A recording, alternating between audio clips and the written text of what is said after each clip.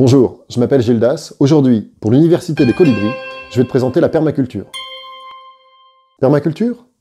T'en as déjà entendu parler, mais qu'est-ce que c'est au juste? C'est des buts de culture Non. Une nouvelle religion New Age, le pouvoir de la nature, comme dans Avatar. Pas vraiment. Une super technique pour produire énormément de légumes sur très très peu de surface. Non plus.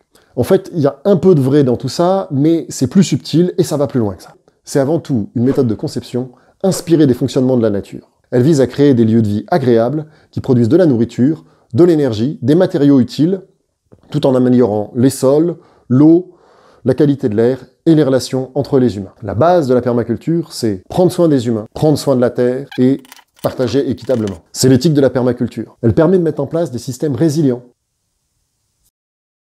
Résilients, c'est-à-dire capable de s'adapter au changement climatique, à des crises économiques ou à tout type de changement, que ce soit dans nos logements, en ville, dans les jardins ou même dans nos métiers. Ok, laisse-moi m'expliquer. Prenons une forêt. Tout le monde voit ce que c'est qu'une forêt. Pas besoin de semer, de labourer, d'apporter des engrais, ni d'irriguer. Et pourtant, ça pousse. Ça pousse même nettement plus que dans les champs cultivés. Avec une agriculture aussi efficace qu'une forêt, on produirait plus en travaillant moins. Il s'agit de travailler avec la nature et non contre elle. Ça, c'est un principe de permaculture. D'abord, il faut bien comprendre pourquoi la nature fonctionne aussi bien. La forêt fabrique un sol d'une qualité exceptionnelle. Le meilleur sol du monde. Du coup, on propose de créer une agriculture qui améliore les sols. Les bactéries du sol fournissent des nutriments aux arbres. Les arbres collaborent avec les champignons. La loi de la jungle, c'est pas ce qu'on t'a raconté. C'est pas la loi du plus fort. La vraie loi de la jungle, c'est la collaboration entre les espèces. La base du fonctionnement de la nature, c'est la symbiose. La permaculture, c'est de copier les stratégies de la nature. L'arbre peut devenir millénaire. Il vit bien. Il devient énorme.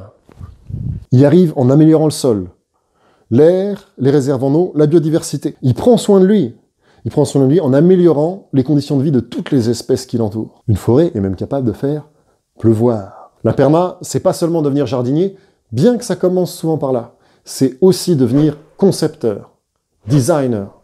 Tu réinventes ton lieu de vie pour créer tout un écosystème qui, d'un côté, te nourrit, mais aussi produit de l'énergie, des matériaux, du savoir, des relations. C'est ça qu'on appelle le design en permaculture. La perma, pour moi, c'est un chemin de vie personnel.